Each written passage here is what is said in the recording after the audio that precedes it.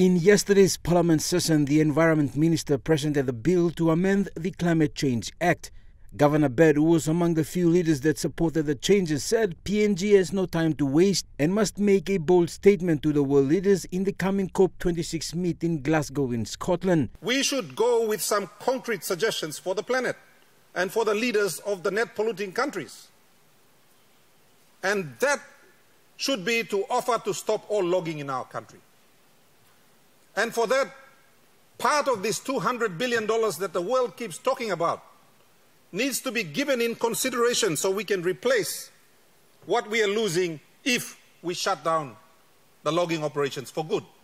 In 2014, a decision by the National Executive Council was approved to cater for changes and align relevant policy framework by the Environment and Conservation Department. Oro Governor, who will be part of the PNG contingent, says a stronger voice will be tabled at the meet.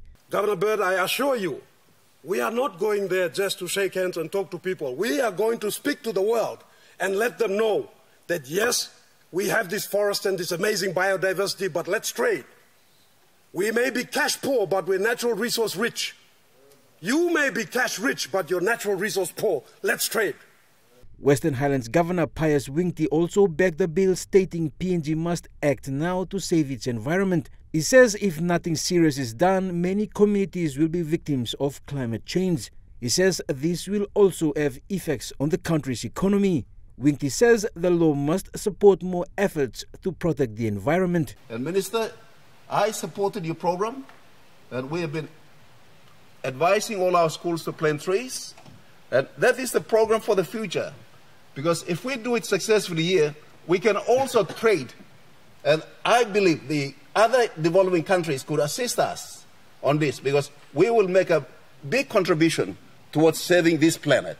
Environment Minister Wera Mori says the law is a political voice for the country. Mori says CCDA with other development partners and state agencies will be at the forefront to implement objectives of the amended Climate Change Act of 2015.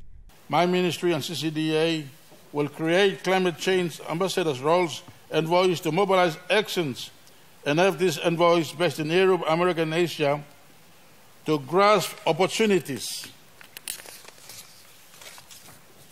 emanating from the European Green Deal and American Green Deal as well.